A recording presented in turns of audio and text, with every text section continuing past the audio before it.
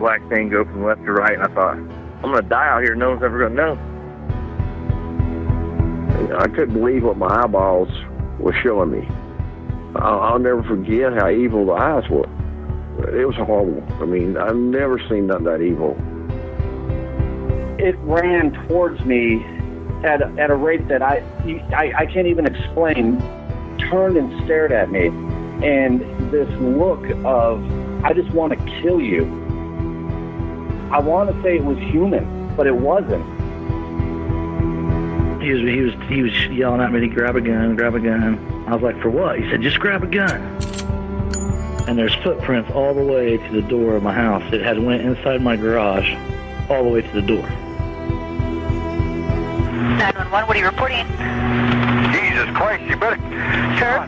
Zia, Hello? get somebody out here. What's going on now, sir? That son of a bitch is about six foot nine, I don't know. Do you see him now, sir? Yes, I'm looking right at him. Uh-oh. You're listening to Sasquatch Chronicles.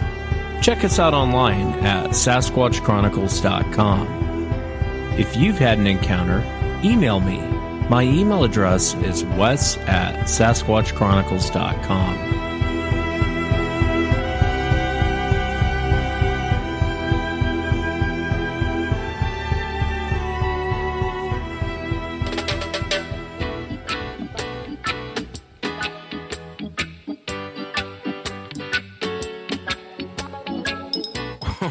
Welcome to the show, everyone. Thanks for being here tonight. Nothing like naming a show Devil's Lettuce and Bigfoot, playing a little uh, Bob Marley there in the background. God, that guy was talented. I really miss Bob Marley. I can't think of anything he's done that I don't like. Uh, anyway, got a great show planned for you tonight. Going to be talking to Rick, and Rick's up there in Canada. They were actually planting weed, and they he describes almost like Bigfoot's lair that he chopped his way into. And it made me really think of Randy uh, Harrington, who I had on a couple weeks ago. He was talking about the same thing, finding this weird little tunnel system uh, where he found all these bones and it looked like something was, big was eating. Uh, but Rick goes on to talk about seeing what looked like two large chimpanzees running towards them. And at the last moment, shifting gears and, and deciding not to run these guys over. Very fascinating stuff. Then I'll be talking to Ben. And uh, Ben actually had a very interesting encounter. He had several encounters actually at his dad's property. And where's Ben at? I know I'm going to get one listener that's like, you didn't tell us where Ben was. Uh, ben is actually in Ohio. And uh, so, anyway, he grew up on this property and they kept having strange things happen, like banging on the house. Uh, there was other witnesses that showed up that experienced weird things. Uh, so Ben will go into that tonight. If you've had an encounter, shoot me an email. My email address is wes at sasquatchchronicles.com. And I'm excited. I'm releasing the show uh, instead of Sunday today. Uh, I got invited to go eat, meet the uh, cast from Tombstone, Doc Holliday himself. Uh, so I'm super excited. It's, it's probably my all-time favorite movie. Um, you know, I'm not proud of it, but I could probably quote every line in that movie. Uh, anyway, a great movie. If you haven't seen it, Tombstone, great movie. Uh, so I'm super excited to go meet Doc Holliday. Sound like a, a schoolgirl. You know, I can't wait to meet the guy. I'm going to totally uh, go fanboy on it. Anyway, I'm sure no one cares. I'm excited. That's all you need to know is I'm I'm excited. Uh, anyway, the uh, check out SasquatchChronicles.com. You can become a member, get additional shows. Let's jump into it tonight. Rick, welcome to the show. Thanks so much for being here. Hey, no problem. Yeah, thanks for coming on, man. I appreciate you being here. Uh, you had a very fascinating encounter there in Ontario. Uh, if you would, would you kind of start from the beginning? Tell us what you were out doing and just kind of walk us into what happened. Well, it was 2004, and me and a couple of buddies rented a cottage just just north of uh, Lake Ontario. You know, um, up near a place called Haliburton, and it's pretty dense forest. It's it sits off the edge of Algonquin Park. It's still basically in the Algonquin forest. Um, you know, there's everything up there: moose, bears, everything, deer. It's it's just tons of wildlife up there. Tons of lakes, swamp, uh, you know, rock outcroppings, and and miles of forest. Just miles and miles of forest. And uh, we were actually up there planting pot, and um, we were pretty far out into the wilderness. Um, we weren't going anywhere where you know we were going to run into anybody. That's for sure. And we had been through the area early, early in the spring, and we did all our work, basically all our, you know, dug all our holes and did all our prep work. And you know, over the course of a couple of weekends, we we finished up. It was later in the summer. we went back up to the cottage because we we rented a cottage up there, and for some reason or another, we just went out into the forest, uh, you know, just to kind of look at things, uh, see how things were coming along. it's really dense. Like it's very few logging roads, very few trails, but the trails that are there basically run all through the forest. You know, they, they go on for miles and miles. And you really can't go off the trails in a lot of spots because it is so thick with thorns and you know uh, raspberry bushes, brambles, dogwood, just just tons of thick vines and and you can't go off the trail. You know, it's it's like a wall of brush and thicket to get through. So um, it's almost impossible. But anyway, we uh, we had to get to some one of our patches, and it was r- really far to go and walk the trails around to get to it. And I just I took a GPS reading to see if you know we could make a, a bird's kind of a, a straight track through it through the brambles, right? Kind of machete hack to it and get to it. And um, I got a I got a reading and a, and a bearing, and we kind of started cutting our way through the, the brambles, and it was so thick. It just it took forever to get. I almost wish we had actually walked on the trail now, but uh, it took forever to you know get in in through these uh, thickets. And I'm hacking away with the machete, and we get in about like 25, 30 yards of this thick, thick bramble, and it was almost like we had drilled into a tunnel. It, it was the craziest thing. Um, I, I hacked into it, and all of a sudden it just opened up, and we were standing in a thicket tunnel, like a tunnel. It was all intertwined branches and vines, and it ran forever through this forest. It, it almost like paralleled the trail all the way through. Um, and it was huge. It was like it branched off here and there, and it went on for thousands of meters and I'm just thinking, what the hell is this from? What could possibly could do this? Like, and we were walking through it. We weren't thinking, you know, creepy feeling or nothing like that. We're just kind of, what the hell is this? We were more amazed than really scared or anything like that.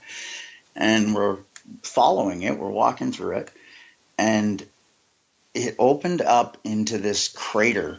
Um, it's hard to explain. Um, basically, it was like a well, it was a big kind of crater shaped pit, and it went down about 25 feet, you know, from the top of the, the the edge of the crater to the bottom, on like a probably like a 20 or 25 degree slope, and it was about 100 feet from the edge, you know, the um the the brush where we came out, the brambles to like the edge of the to like the center of the crater was about hundred feet all the way around. So it was like this huge, huge opening, this huge crater, this huge pit basically, and there were no trees in the center of it, and but it was there was no paths going into it. It was just crazy.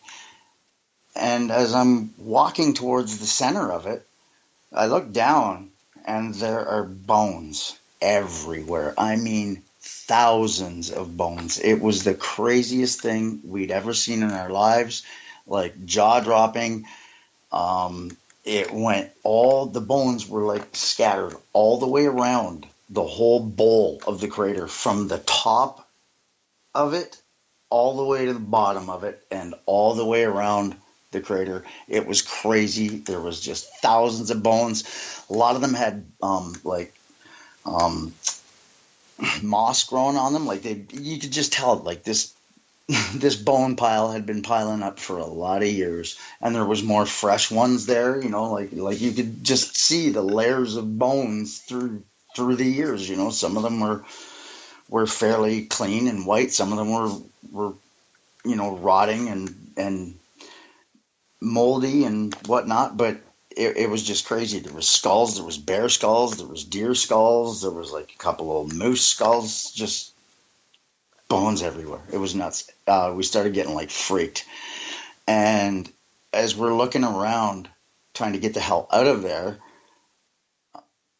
we noticed there was a bunch of openings, like those tunnels, all the way around the crater. Um, and we couldn't remember what bloody one we came in on. And by the time we noticed all these bones and everything, we weren't going back into those tunnels basically. So we started hacking our way out of there with the machetes again, like getting the hell out of there, trying to find a trail. Um, and eventually we got onto a trail and we were pretty damn tired by then from all the hacking and everything else that we were doing. So we just forgot all about going to our patch. We went back to the cabin and uh, just went to bed basically and talked for hours, you know, that night. What the hell could have did that? You know, we were thinking at first like poachers, you know, but but there were n- no trees like in that crater to hang a kill on and and and gut it and and prep it. You know, there was just there was nowhere to hang hang a carcass. Yeah, it sounds almost like something big was in there eating and just tossing the bones when it was done eating. Creepy, Yeah. very creepy. It was like whatever whatever called this place, you know, the dinner table. It's like they they they had entrances from all directions. You know, they were using these these tunnels like a bloody superhighway. You know, I, I could I just started in, you know wondering what the hell could do this, right? Um, but we, we it was the next day. You know, it wasn't. I, I couldn't think of anything. I, I thought, you know, bears, but bears couldn't build tunnels in the bush. Like, come on, it it was it was just perplexing, you know, perplexing. So the next morning, um, we got up and went out to the patch. and this time, you know, we, we went around the trail. it took us a long time, but we weren't cutting through those thickets again. So uh, we went right in around the trail and we got there and we're working away in our clearing, right? And we were, you know, just watering and fixing up for like about an hour, right? And there's an airport not too far, like about five kilometers uh, straight from where our patch was. And basically, they're coming over our clearing. These airplanes would come over our clearing to line up with the runway, right? but I knew, you know, they're not going to see our see our patch because you know they're, they're lining up with the runway. They're too busy trying to land their planes. They're not going to look down and you know see anything at this point. And uh, we're working away, and we heard a plane approaching. So we ducked under a tree, you know, because you know we didn't want them seeing us working away in our in our patch. So we ducked under a tree while it flew by. You know, it was really loud. It was like a little Cessna, but it was low and loud. And it flew over and uh, kind of started fading away out of uh, out of earshot. And we got up from under the tree. We uh, we we ducked under, and as soon as I stood up, these two huge things, things on all fours, barreled right straight past us. Like the ground was shaking. It was like point. It was like two on the Richter scale. You know, it was. They shook the ground so much. Um, I've seen black bears millions of times. In fact, the day earlier we were watching black bears at the Hall- Haliburton dump because you you can just drive into the Haliburton dump and the bears won't even bother you. You know, you can just go and walk around and they're just in there sniffing out the food. They don't care. There's a guy there with a gun, you know, just in case, but uh but they don't even care about the bears. The bears are there all the time. There's well-fed bears in Haliburton. There's no need for bears to be stalking anybody in the in the Haliburton forest because the dump is like the dinner table for those guys. Um, But anyway, these two big black things go barreling past us, and they were on all fours, but they were really wide at the shoulder and more narrow at the hip. I didn't see them head on. They'd already passed by the time I'd looked at them. I was just seeing like the rear end of them, but I could just tell like it. They looked like bloody, overgrown orangutans. Is is what it, they reminded me of. Just like you could see like like a furry ass sticking up in the air. Well, definitely it wasn't a bear. Yeah. Big, huge, long arms in the front that were like they were running like chimps, or yeah, like chimps. And I could see like a you know the basically the top of the head over the shoulders, um, but I couldn't see like the front of them, and they just barreled past and right out of there. Like I know for like once I once we put two and two together, we knew they were like just about to jump us, and it was the sound of the, that airplane basically spooked the hell out of them as they were about to probably jump us. Oh, I got you. So they were coming your general direction, and then you think Yeah, it I got like you. They were watching us, ready to make a jump, and as soon as they were about to, the, that airplane popped over the clearing, and they kind of stopped. And then as soon as it left, as soon as it got over the clearing, they were uh, in mid run, but we noticed them by then because we were getting back up, right? And they just kept running. They just ran straight through our clearing and straight the hell out of there. And we had a little uh, a little red nosed pity with us. Eh? Uh, she was only about thirty pounds, but she was just full of piss and vinegar, and nothing scared her. Like she chased these things. And I and I've heard all the stories about you know like Sasquatch and stuff. How dogs will dogs will uh, cower and they you know they won't they don't want to go near them or anything. But I, I you know some some of the some of the pities that we got up around here they're not they're not scared of anything. And you know this little girl she just put the run right on them. But me and my buddy we were shitting our pants, man. Like my, my buddy, the first thing he said to me, he's, he's going, "They're not bears. Those aren't bears. Those aren't bears." And he's snapping, and we start yelling and screaming and banging our shovels on the trees and like trying to get the hell out of there. And we didn't think we were ever going to see the dog again. She she chased after these things, and we were just trying to get the hell out of there. Like like if I'd have, we'd have thought for a second that they were bears, we never would have put on that kind of a show. You know, like like we we, we wouldn't have cared. We know the bears up there are well fed. We you know, and there's and I know black bears. You know, that's what we got around these parts. I know they are vicious and they will attack humans for feeding, but not when there's a huge dump like you know probably two miles away and it is just a free for all for all the bears in the area and, and i can't specifically ever remember ever hearing of a bear attack in haliburton because really the bear the berries and the like it's just so so much good eating up there for them um but Can Can I ask you before you go on? Um, how far away from you was these things when you saw them? When you stood up, and it looked like two orangutans or two chimpanzee r- running. How far away from you was them? Was these things? 30 feet not even Oh wow, 30 feet. really close. Yeah, yeah, they were like just. Yeah, I could just tell they they were, they had a bearing of heading straight for us, and basically when that plane popped over the clearing and started taking off, and we got up under up from under the tree, they they noticed that we noticed them, and they veered off like because they couldn't get the drop on us anymore. But there, it was so fast. It was like it, they, it was like they they shifted that angle of attack, you know, like from coming basically straight towards us to moving away from us and gone and out of the clearing. It was so bloody fast. It was like, and I know bears are quick, but they ain't this quick. They ain't this quick. I, I've there's no way you nobody would ever convince me that these were black bears. Like they, they were way too big. First of all, on all fours, these things were almost up to my chin on all fours, and there is no black bears that tall. Um, I used to live out in uh, out in Vancouver, and uh, or Vancouver area, and um, I've seen some pretty big grizzlies out there, man. Uh, these things were like bloody grizzly size almost. They were huge. Like if if and just the way the ground was shaking, it, it was just nuts.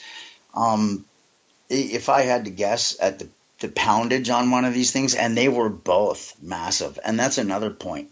You will never see two black bears that big, basically buddy buddy, hanging out together hunting in the forest. It, it don't happen. They're a very No, you're solid- right. Yeah, you, you might see them fighting, but not. yeah, not- that's right. You'd see them fighting, but not not organizing a hunt. You know what I mean? Not stalking something. These things were like we were being stalked. There was no, you know, they they, I, there was no other explanation. We were being stalked, and we knew it. And you know, we we put the fear on that that you know we felt it. You know, we were so bloody scared. Like it, was crazy, just crazy. That is, and and you know the easiest way to tell it's a bear is when a bear is on all fours. You can immediately look at it and go, "Oh, that's a bear." Um, and then for both of you guys, you know, because I know you're in bear country, for both of you guys to stand up and be like, "That looks more like an orangutan running." Um, I would imagine there's mass confusion, fear, all the emotions wrapped up in one. Seeing the, these things run past you, We especially thirty feet, man. Thirty feet's pretty damn close. It was real damn close. It like it was it was too damn close. That's for sure. Um, and let and when when as soon as we saw those, we on our way out as we were like yelling and screaming and banging on trees with the shovels, you know, making basically as much noise as we could, you know, like basically trying to sound like threatening or whatever to an animal because we're not thinking Sasquatch, you know, that we're we're just not thinking that. Like like you know, but we'd all heard the stories when we were like when we were kids and stuff about like I don't know if you've ever heard of a place uh they've actually had some sightings and that's a little closer to where I live because I don't live anywhere near Haliburton. I'm like 200 kilometers away from Haliburton. Um I live closer to like um a place called uh the Warsaw Caves. You ever heard of that? I haven't. No. Okay, Never. well, there's been some sightings at Warsaw Caves, and um, and we've heard for years all these rumors and stuff. I don't ever, I don't know anybody personally who's ever seen a Sasquatch, um, but we've heard, all heard stories, you know, or, or around this area.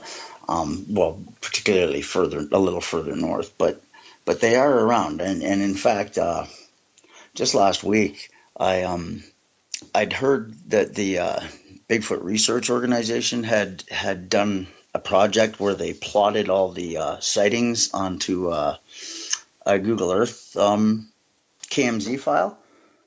Have you heard of that? I haven't. No.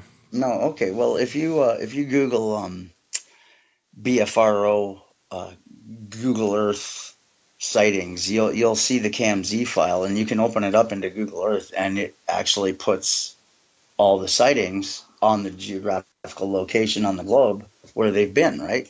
And uh, and I was actually checking that out last week, and I'd seen there was a couple sightings within the last like ten years, pretty close to where I'd seen them up near Haliburton there, and um, and down you know a little closer to where I am now, which is you know just outside of Toronto. Um, but yeah, we never thought Bigfoot, man. When these things they, they were the that was the last thing we thought of. It it actually took a while before we were willing to like I mean like weeks before we were willing to actually say, man, we must have saw Sasquatch. But we knew when we saw these things what had made those tunnels because the, these things couldn't have came out from anywhere, Wes. They weren't on the trail, so they must have came out of the thick. And they must have been traveling through those tunnels in the thicket because we never heard we didn't hear these things sneaking up on us. And it's so bloody thick in this forest. You can't just walk through that, those brambles and not make the noise of a rock concert. Like it, it's you, you can't you couldn't take two steps without somebody knowing you were coming through right but these things just popped out of nowhere, man, like nothing, like nothing. We didn't hear them. Alls we know, all alls we knew is we felt the ground shaking and we saw them just popping right through the clearing at us. And then they, as soon as they noticed that we noticed them, they changed directions and they, you know, they uh, like basically uh, right angled it away from us. So that's why I didn't get a good look at their face or their front on. I basically just caught like the rear shoulder side view and then the absolute rear end view. And that's when I noticed like um, how small their rear end was in in uh, in relation to their their upper body. Kind of like a was a gorilla more- or a monkey. Yeah, it was a lot more narrow. And bears, they're more like a pear shape, you know. They got like a, a really wide ass end, and it starts to narrow out towards the head, right? Um, it was nothing like that. It was it was like yeah. it, It yeah, reminds may me- been It reminds me, and I don't, I don't mean to cut you off, Rick. I apologize. It, it reminds me of um, there's a, a video from Canada, and it's these two kids, two high school kids, and they're out there just filming. I, I don't know if you've seen it or not. They're just out there messing around filming. I think it was something for school, and one of the kids is running, and you see like this gorilla come out of the freaking nowhere, out of the wood line, and it bum rushes the kid. And at the last second, it changes direction and, and goes off in the other way. But when you watch it, it looked like a gorilla coming. I mean, it looked like a monkey or a very large monkey or a gorilla. Just the way it ran, it reminded me of a gorilla. Kind of like what you're saying, kind of smaller hips, smaller butt, wide shoulders, big head, not like a bear at all. Um, I'll send it to you if you want. It, it finding Yeah, uh, Facebook find Bigfoot posted it many years back. It was on. It was in Canada, and uh, these were just a bunch of high school kids. And I don't even know if you could scream hoax on that because it was so damn good. The what they filmed. You see, and again, it looks like a gorilla bum rushing this kid. He's running, and it reminded me of a dog. You know, like when you're running, all of a sudden your dog will chase you. That's what it reminded me of. It comes running out after the kid, and at the last second, it changes direction and goes up. out. I'll send it to you, man. It's it's Yeah, fascinating yeah. to watch. So, what do you guys do next? You guys just get out of there, and that was pretty Oh, much yeah, the end of that. We got the we got the hell out of it. Um, like, Dumb like- question. Like said, we did we did not take the, the trail back. You know, we were cutting back through thick to get out of there. You know, we weren't going anywhere near because they, they they only ran off in one direction, and that was down the trail that we would have had to get out on, right? So I don't know where the hell they came from, but but they, they didn't come up on the trail. That's for sure. They they had to have come through those tunnels and then popped through the thicket somewhere. Um, but but once we saw that and we started getting out of there, you know, we started talking about what we'd seen the day before. You know, the the tunnels in the bram in in the thicket and the and how they all these different directions the, the, that they branched off in, but they all opened up around the circle of this crater. You know, it was just like we we just knew whatever the hell this thing was, they were they were like stalking them down the trail along like in the tunnel you know like paralleling people or sorry not people but the animals like we didn't we looked actually for for bones like remember when i said we seen skulls and all that stuff we were actually looking to see if there were like human bones or anything like that to, and we didn't notice anything like that. Like definitely we did you know we called the cops at that point but uh but it was bloody crazy all the bones it was just thousands of them we knew right then what had made that bone pile or you know uh, over years and years it, there must be like generations of these things unless they live to be incredibly old I, I have no idea i've got some theories on that actually but uh Yeah, it's it, it's fascinating. I, I know when I had Randy Harrington on, um, two- was it two weeks ago? I'll have to go back and look. Um, and it was the empty tent, tent episode. He was talking about going into an area, uh, kind of much like how you describe, and finding bones everywhere, like almost like a boneyard. Um, Yeah. And he talked about that, and he actually sent me pictures of it. I need to post it, but uh, the, it it did look like something very large was in there eating and just kind of tossing the bones off to the side when it's done. let, let me tell you this this crater this bone pile that we walked into we're not talking something large we're talking a bunch of large things had to be in there snacking down because this was huge. Like it was a huge like i said from from the point where we popped out of the the tunnel into the top of the crater because you know it, it opened up onto the top of the crater right? Like it was like a big bowl in the ground right? And like a big huge crater. But there was at least like a hundred feet or more from the edge to the center of it and it went all the way around. Like that's a radius, right? Like from the outside edge to the center, Right. your yeah. radius. So that's like a, it's over a hundred feet, and then all the way around. So like that's that's that's a lot of square footage, man. That's a lot of bones. That's a lot of bones. Like that it, that had to be literally hundreds of animals in there. It, there had to be. It was it was bloody scary. It, it was it was scary. Like scary. Did you guys ever go back? Did you guys ever go back to that area? Uh, no, no, Yeah. definitely not. Um, in fact, uh, it, it was um, something we didn't even really think about for for quite a few years um, after you know after that summer, right? Um, and honestly, I just stumbled onto your show um, about two weeks ago, and and um, you just uh, actually mentioned the uh, the empty tent episode. Um, that's actually up next on my playlist because I've only heard about maybe ten episodes of uh, Sasquatch Chronicles, Oh, cool. um, and because I, you know, like I said, I just stumbled onto it recently, right? Well, thanks for um, listening, brother. Appreciate you Oh, taking the time to listen, It- man. It's it's totally awesome. It's uh, and and I thought, well, you know, I I was just wondering that maybe if somebody else had ever noticed these tunnels in the thicket, but who the hell would? Because who goes into that kind of thick stuff?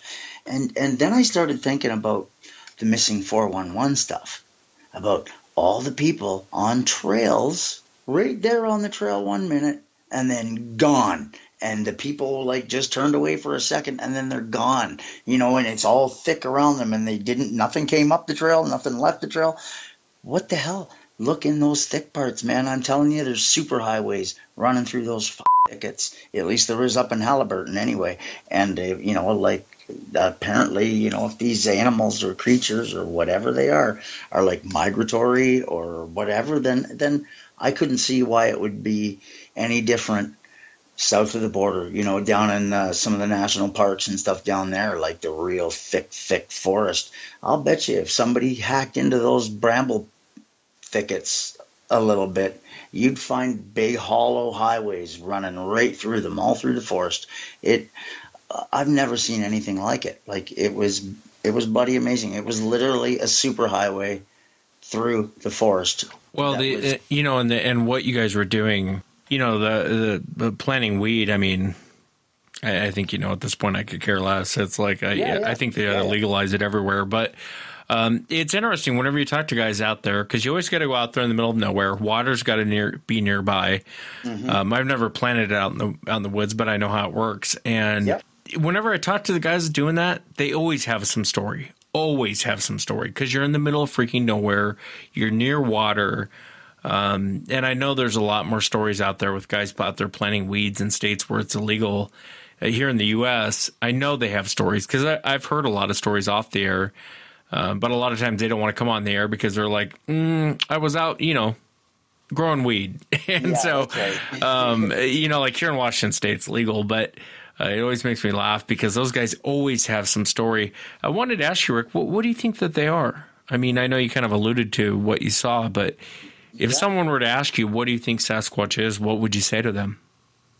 All right. Well, I guess it would really depend on what particular style you're referring to, because from you know I, I've checked into them now a little bit over the years. You know, everybody watches. You know, anybody who who who is into it watches all the the crazy uh, History Channel programs and the National Geographic, and you know, um, and some of them are pretty pretty decent. You know, like uh, like what's his name, uh, John Bindernagel there. Um, Yeah. and uh, or the late uh, Dr. Nagel, and um, who was the, what's the other fellow's name? The anthropologist. Well, well, anyhow, um, you know, they seem to be pretty uh, pretty uh, educated in it, and from what I've heard, you know, there's there's a few different types of them. You know, some of them have the uh, some of them have the split foot, the um, what do they call it there? Yeah, the mid tarsal break. Yeah, the mid tarsal break, and uh, and some of them don't. You know, a lot of them are more human type. So my my theory is, um, have you ever heard of a guy, uh, L.A. Marzulli? Yeah, of course. Yeah. Okay, you know how he's checking into the um, The Nephilim. the the Nephilim heads Yeah. and all and all that kind of stuff. Well, if you, I don't know if you've ever noticed, but they are pretty damn similar looking to a Sasquatch head. Um, they've got the point on the back. They've got some of them have very protruding canine, um, and they're a lot bigger than human heads, right? Um, and they don't have the uh, the sagittal uh, sagittal uh, sutures in them, and you know humans usually have I think three uh, sagittal sutures around our head, but you seldom hear though of really old people. Um, their sagittal sutures do join together, and you and there is only one. So you know maybe these things are like some of these Nephilim heads are just really old old Sasquatch or you know something like that, or uh, they could have been a like a, a cross between the two.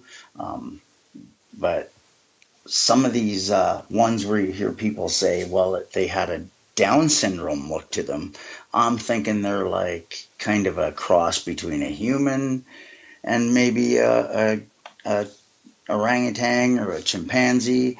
And maybe the gene pool got so thinning out, you know, they started like interbreeding too much and they took on a real um, Down syndrome sort of look, you know. Um, and that's that's my take on it. Like I think it's different for every style of of Sasquatch or Bigfoot type creature out there. I, I don't think there's uh I don't think there's any right answer really because there's Yeah, it's a fast. Yeah, it's a fascinating take. It's um, I've thought about that before because you're right. You look at some of the skulls are pulling up, or um, I forget the guy's name in Brazil. He keeps pulling these skulls up. Oh yeah. and Yeah. um, yeah, they do. They, I mean, it's. Um, I guess if you threw some skin on it, some some meat on it, and some hair on it, it would look like a Sasquatch skull. Absolutely. And what's you know what's a common trait of these Sasquatch out in that part of the world? Red hair. Right. You know, Yeah. a lot of them are, you know, brownish red hair, right? And that's a lot of the color of the hair they're finding. If they find one of these skulls with hair intact, it's usually bloody red, you know? Um, so yeah, that's, that's, that's, you know, one of my theories on it anyway. Yeah, But, it's a uh, it's a fascinating take, and I know the the encounter's fascinating. I mean, uh, thank God that plane went over the top top of the. It's funny. I talked to a guy. Well, I say funny, not funny, but um, I talked to a guy who was a um, what's it called, uh, crop duster, Uh-huh. and he was flying a plane, and he had seen one come out and actually kill some deer. He saw it fall from the air. And he Oh. was in shock over it, and I said, "Well, you know, so it's it's interesting that you got to I wonder if they were trying to run you guys down and decided last moment got startled. Thank God they got startled if that was the case. Um, That's but you guys what are in a dangerous position too because I don't know if it's like the den or it sounds like a den, um, which would probably piss them off if you guys were in there. you know that's something we had thought of later is they'd sniffed us because i would imagine whatever these things are they must have amazing senses of smell and sight like like i truly believe these things can see in the infrared and and that's why people can't get them on cameras um, I, I i really think uh, I, I, I really think they must have a super sensitive hearing and sense of smell, definitely. Um, but I think that they smelled us in their little bone pit the day before. And when we went back into the forest the next day, because our patch wasn't too, too far from that bone pit, um, it would have been thick as hell to get to it, you know, almost impossible unless you're, you know, traveling down the superhighway in the middle of the bloody thicket. But um, yeah, it's.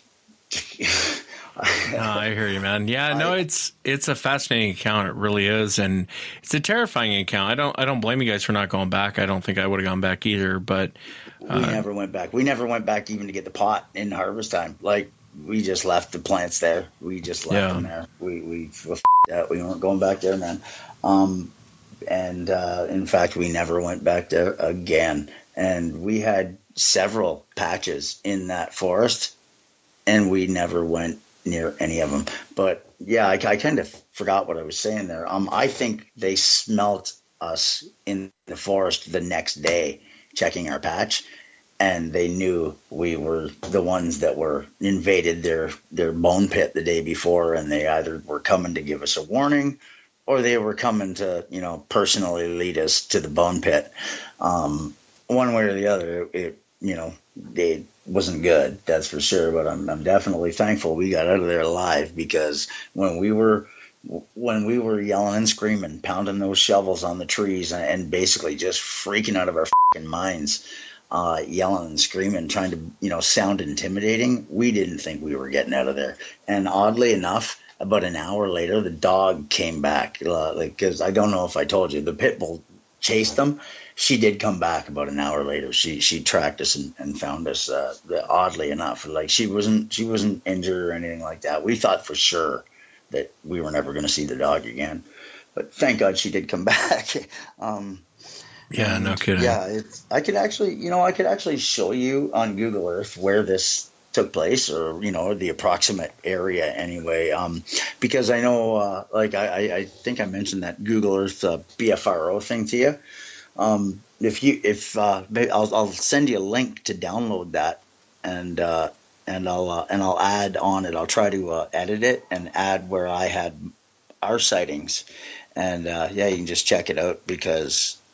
Yeah, it, it Yeah, was- please do. I, I would love to see that. I would absolutely love to see that. Yeah, please send that to me if you get a free moment. But uh, yeah, I will. I appreciate you coming on, man. Thank you so much for sharing the encounter.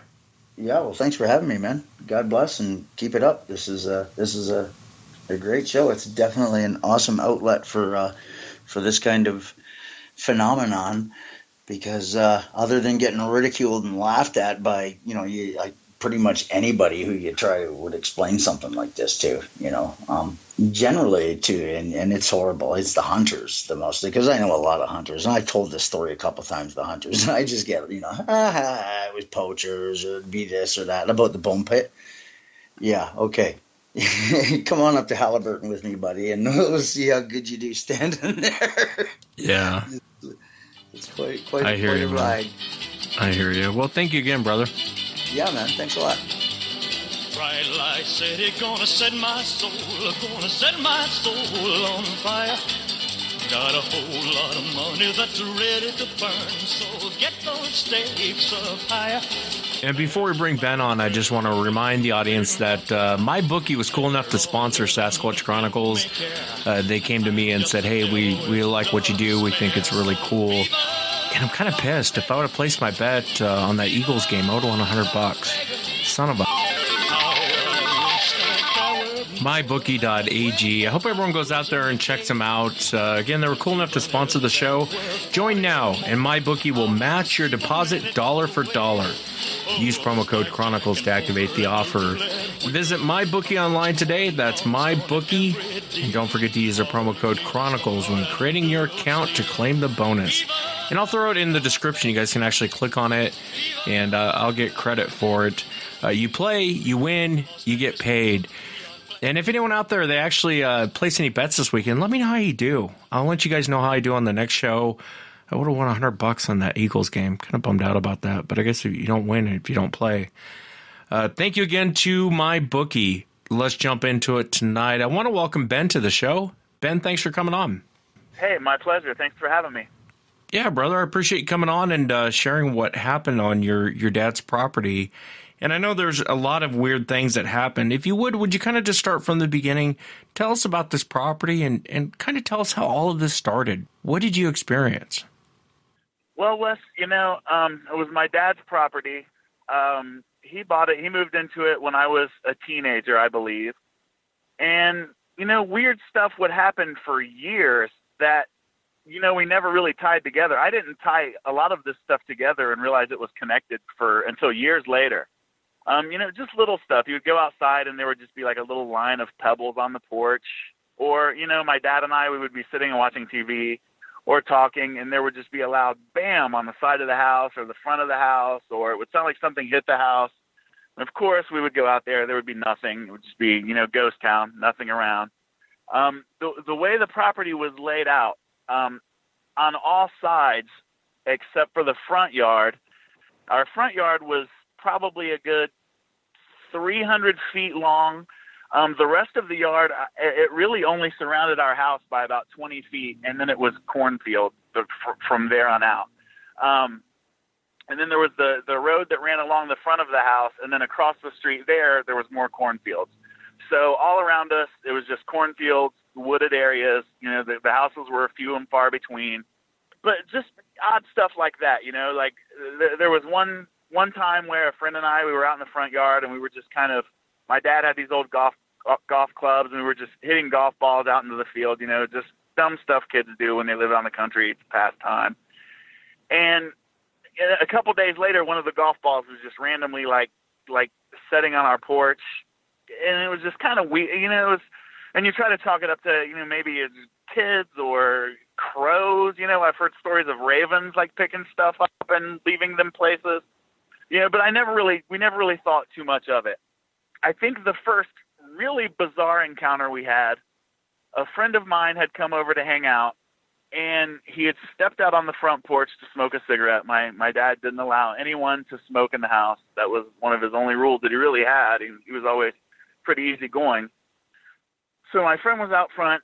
Um, he was on the front porch smoking a cigarette.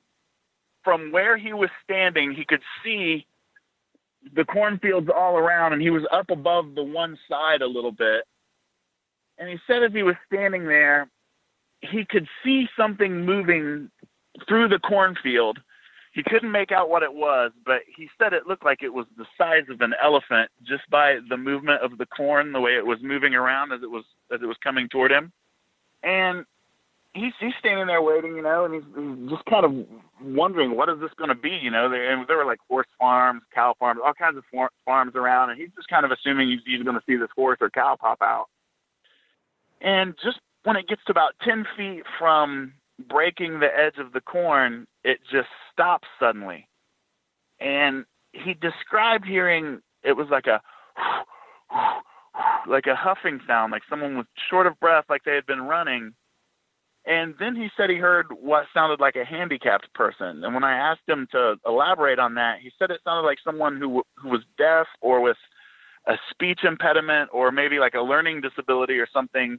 He said it just sounded like a grunt, like it was like a kind of sound, and then immediately whatever it was kind of turned and took off in the other direction. And he said it moved so fast when it took off in the other direction that he couldn't imagine that it would would be a horse or a cow. It just tore through these corn the cornfield.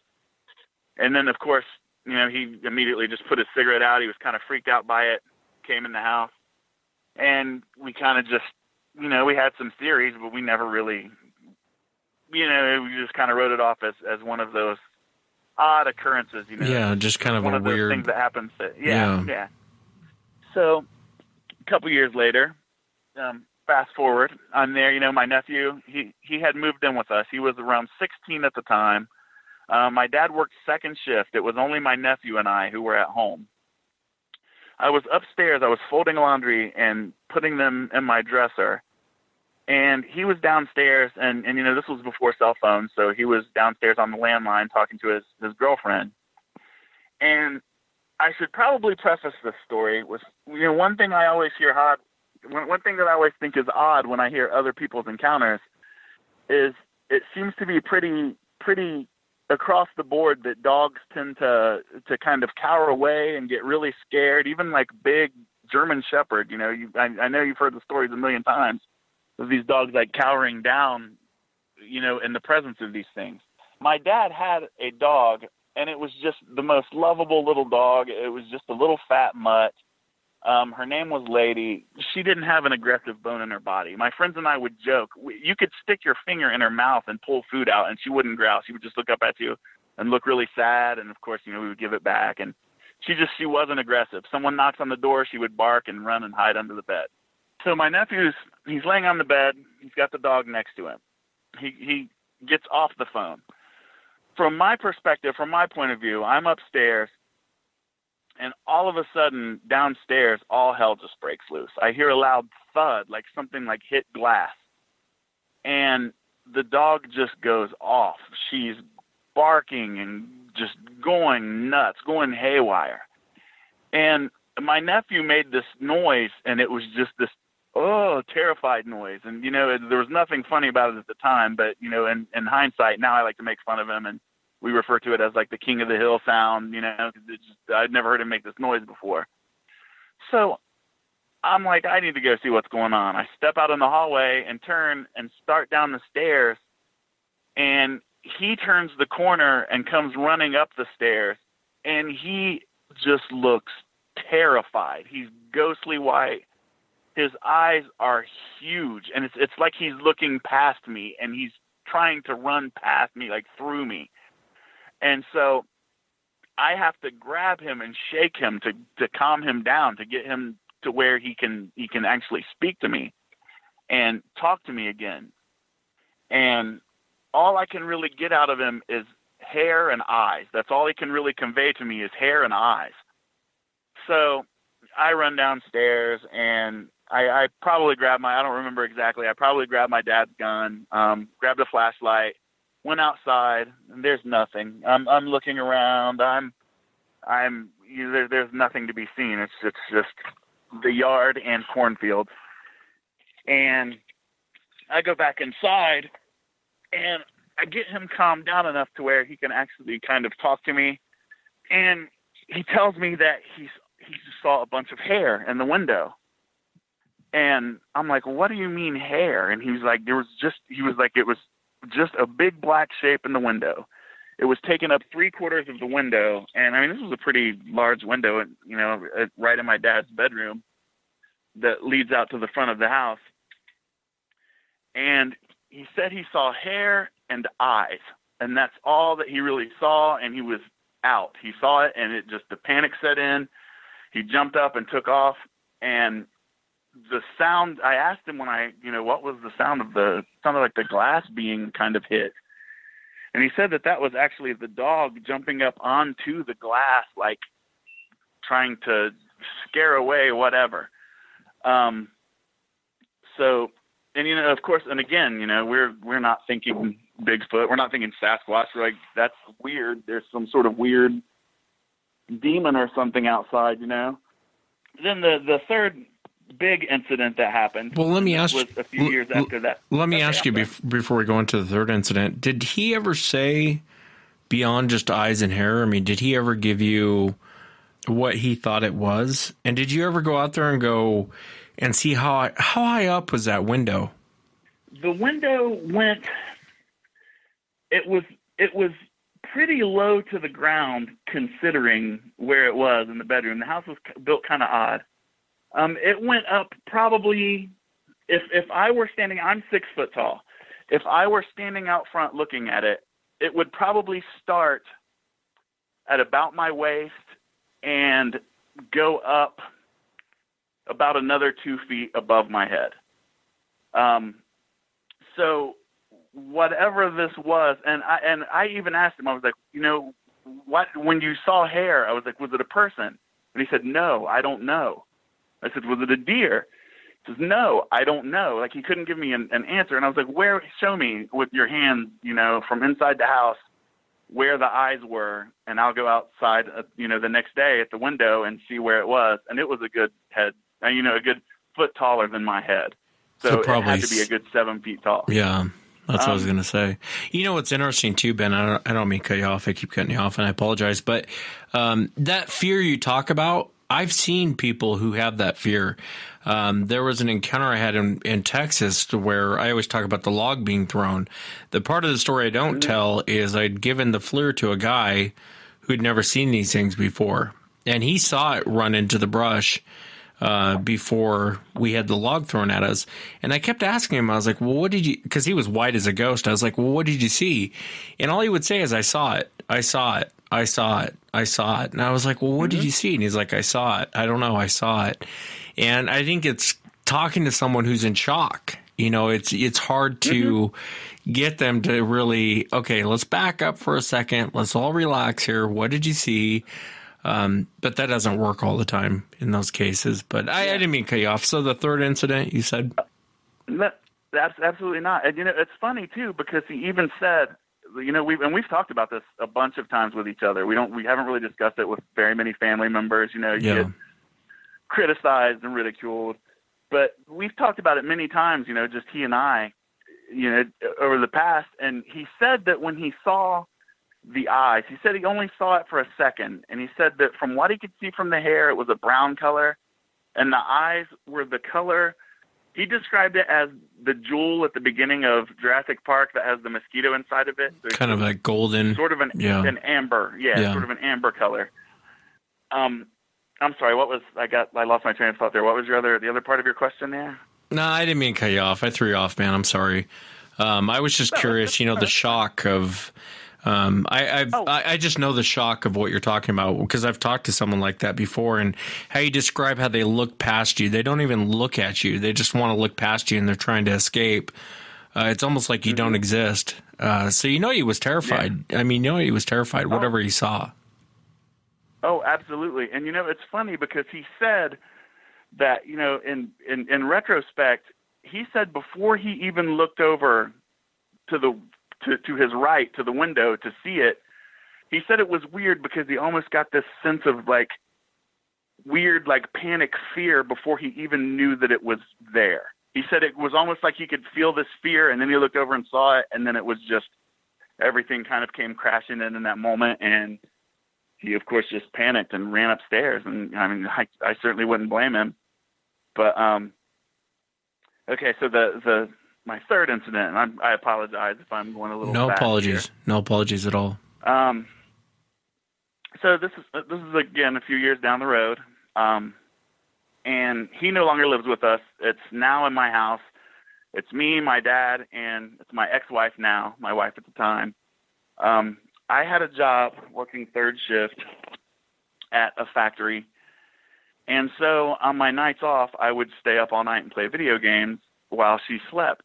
And my bedroom was upstairs and I had my TV and you know my game system and everything in there. And I remember she was in bed sleeping, and I still remember I was playing Final Fantasy VII on PlayStation, and I had everything muted all the way down so it wouldn't disturb her. She wouldn't, you know, so she wouldn't hear anything.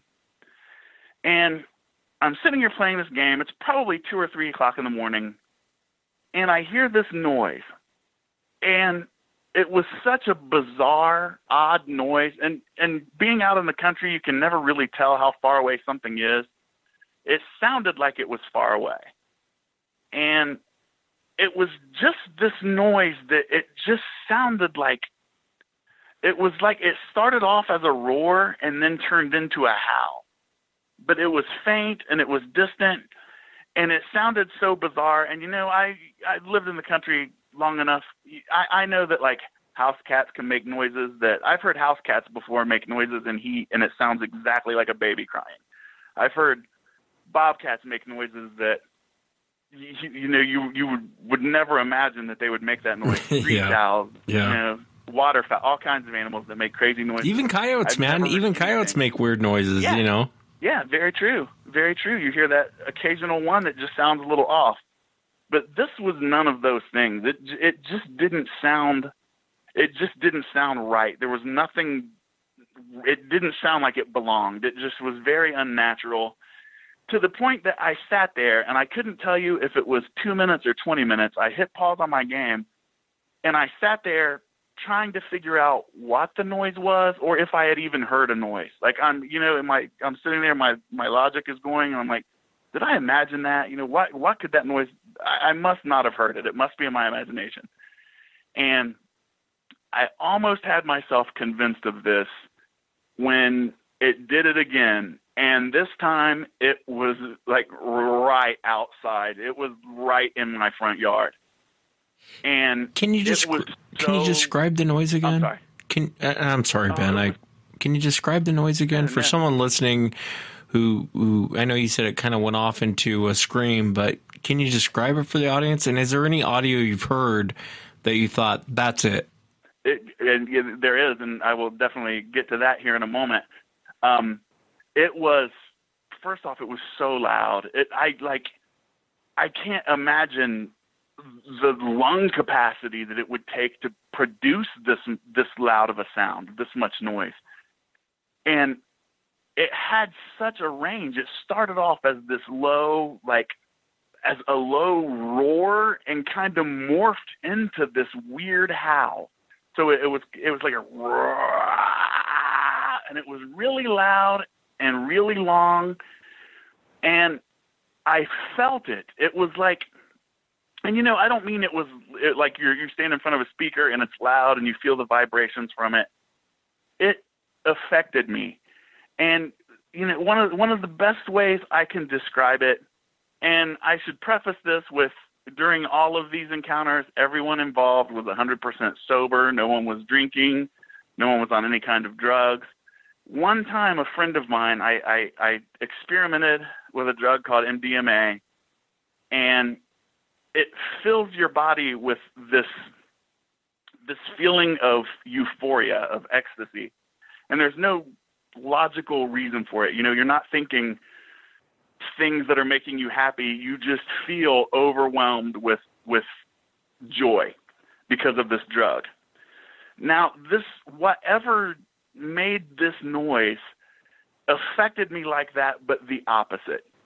I don't, you know, I don't. It, it's not. I heard a noise and I got scared. I heard a noise and it it like took over my emotions. I wasn't in control of my emotions anymore. It was it, it it went beyond like that fight or flight feeling even you know? There was no sense of panic like i was going to run. I felt like i was completely hopeless that there was nothing i could do at all. It was such a feeling of just absolute helplessness and it overcame me for those few seconds. And then as it started to subside i realized that i was shaking violently i had i had tears running down my cheeks I'm like, what is this? Why I've never experienced anything like this. Why do I feel like this? What's making me feel this way? And I thought, I'm gonna run over, I'm gonna look out the window and see what just made that noise in the front yard. But then as soon as that thought jumped into my head, I immediately thought, look, if I you know, I'm on the second floor, I, I know already if I pull this window this this curtain aside and look out there, I'm not gonna be able to see anything. You know, there are no street lights it's just the country. It's dark, and I mean you can see where the the sky meets the horizon off in the distance. But like as far as something in my yard, I'm not going to be able to see it, especially if the if the corn's up.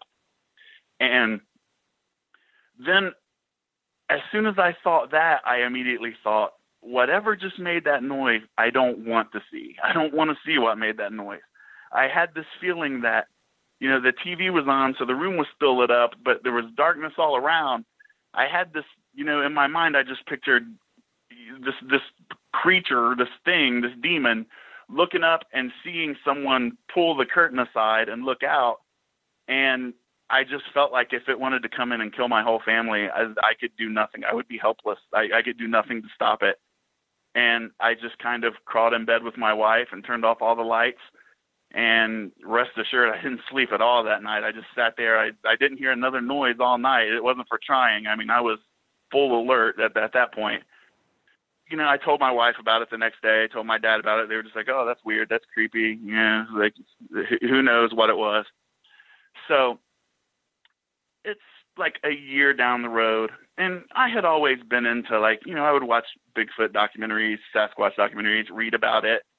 Um, but I had never heard of vocalizations or or any anything like that or gifting or there, there are so much so many aspects to Sasquatch that I that I didn't realize then, you know. Um, and so we're watching this documentary and they play these noises. The the host, whoever's narrating it, he prefaces with, you know, scientists don't know what made these noises. We recorded them, and he even mentioned that they were recorded in Ohio. And when he played them, I remember I just turned white and I got goosebumps.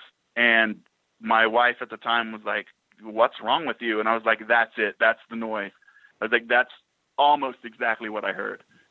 It it's what is now known as, as the Ohio Howl, obviously, but it was very similar to that. Only when you hear that on a recording, it doesn't do it justice because I feel like you feel it more than you hear it. And so then that's when I kind of put it together. You know, I was like, wow. I mean, that's you know, I, I thought of the incident with my nephew with the the big hairy demon. I thought of the demon in my front yard, and I'm like, man, this isn't a demon at all. There's these things are real, and there's one that that's out here like messing with us, you know. It was that's kind of how I Yeah, came to the I find that fascinating. So th- the belief. this is what you heard.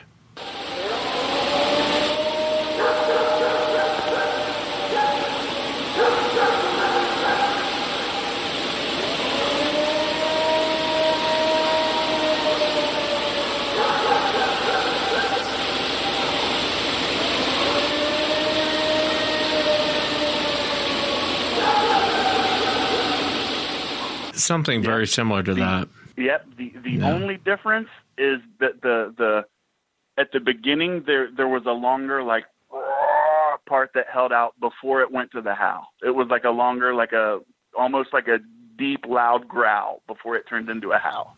Yeah, I find it. That's really the only difference. Yeah, and I find it interesting, Ben. You know, I you don't know how many people I talk to, um, and they'll say, "I don't think it's Sasquatch. I think the place is haunted." And I'll ask them, "Well, what makes you think the place is haunted?" And they'll describe everything you just described. I mean, something slapping the side of the house or banging on the side of the house, something weird in the window, weird sounds that they hear, growls at the window, um, being hit with pebbles when they step out of their house and not really seeing where it's coming from. Um, and I always find it fascinating because most people will say, I think it's haunted because they hadn't seen it yet. So they'll say, I think it's haunted. Uh, but you're, in your case, you've had third party people come out and weird incidences that you can't explain. You know, there's no explanation for it. That a ghost doesn't make sense. A ghost isn't going to come up and stare in your window and or bang on the house. I don't think that's really ghost behavior. Uh, that's more of I don't um, either. Sasquatch behavior. I wanted to ask you: Did you ever look around the property for tracks or uh, the signs of them around your property at all? Well, um, for the longest time, no. Um, definitely not tracks because I, I, like I said, I wasn't in a million years thinking that this was a Sasquatch. I mean, I Right, thought, you know, yeah. that was the furthest thing from my mind. Um, uh, we did. I know the incident where my nephew saw the thing in the window. We did go out the next day and look around to see if we could kind of see where it went or what kind of, you know, still wondering, I- still half expecting to see like some boot prints or something, you know, from someone had been staying, but there was nothing there. There was, there was nothing. Do you guys still have incidences happening today on that property, or is it pretty much done with? Yeah, my my dad passed Uh, probably a little less than ten years ago, and before he passed, he had sold the property, and I haven't been out there since then. So I don't know. I you know I don't know. Like I mean, it might be interesting to maybe someday. I you know I don't want to be that guy that just shows up at someone's house and is like, hey, I used to live here, and there was a Sasquatch. Have you had Yeah. anything? You know I don't want to do that, but I kind of often wonder, you know, if the people there are having anything going on there. No, I understand. I I understand what you mean. I, I mean, it's hard. I understand completely. You don't want to be the crazy guy that shows up. Um, although I'm Right, sure they've experienced some strange stuff. Whoever bought that property. What What do you think Sasquatch is, Ben? What, what What's your honest opinion? Uh, man, I I've spent so many hours wondering about that. Like, I, and I go back and forth. I go, you know, one day I'm like, it's just an animal. It has some capabilities that we don't know because it's undiscovered. And then other days I'm like, no, it's a demon. It's some sort of like interdimensional thing. And for the longest time, I would it's it's like for instance with the show, as soon as your guests would start talking about lights or like dimensions or whatever, I would typically switch over because I was so close minded to that stuff for so long. But the more I read about it and the more I hear about it, you know, it's there are just more questions than answers. But I, I have days where, you know, I'm like, it's not a matter of whether or not they do exist. It's a matter of why does the government cover it up? And then I have days where I'm like, I don't think the government covers it up. I think they're just as clueless as we are. But that's why they won't come out and admit it because they don't know what it is. You know, if there's some there's some animal out here and you kill it and it completely decays away in a half hour and they have no way to to explain that i mean i can see that being like oh well no it just doesn't exist and I, so I don't know. I mean, I go all over the place. I there are days where I think, you know, 20 years from now, scientists are going to be explaining to people like, "Hey, this, you know, this is a blah blah blah," you know, and it's crazy because 20 years ago people thought they were apes or aliens. So I mean, who's to say? I mean, it was. Yeah, I think it's hard to say. I, It I is. don't know. I go back and forth. Yeah, It- it's hard to answer that question because it could be so many different things. Um, and I think all of us go through what you what you just said. I mean, I think all of us are. You know, it's nothing more than just an ape, and then the following week you're like, I don't know. A lot of weird things going on with this. I don't know about that ape theory anymore. I think most people go through that, and um, it is kind of fun to guess. But uh, you know, I respect your answer. I mean, it's hard. Like you said, it's hard to say, man. I mean, um, you hear when you hear encounters, it sounds very much like an animal we haven't caught up with. Then sometimes you'll hear other encounters, and you're like, I don't think this thing's an animal. I don't know what this thing is. Um, and I, I, go through it too. So I mean, I understand what you mean. It's a fascinating account, though, man. I really enjoyed hearing it, and I really appreciate coming on and sharing it. Hey, it was my pleasure, Wes. I like I said, longtime fan of the show, and you know, I I love hearing other people talk about their encounters, and I I really love that you have so many intelligent people that come on and talk about their encounters because it just that helps. You know, it gives credence to everything. Not that that any of us need any kind of validity. You know, I mean, Yeah, once I know you've what you experienced it, you know something's out there. But it always feels good to know that someone else. You're not the only person experiencing something. Yeah, I couldn't agree more. Thank you again, man. I really appreciate you coming on. Hey, my pleasure. Anytime. And that's it for tonight, everyone. Remember, if you've had an encounter, shoot me an email. My email address is wes at sasquatchchronicles.com. If you get a chance, please check out sasquatchchronicles.com. Yeah, I'm excited. Get to meet Doc Holliday tomorrow. I'm your huckleberry. You're damn right, Doc. Have a good night, everyone.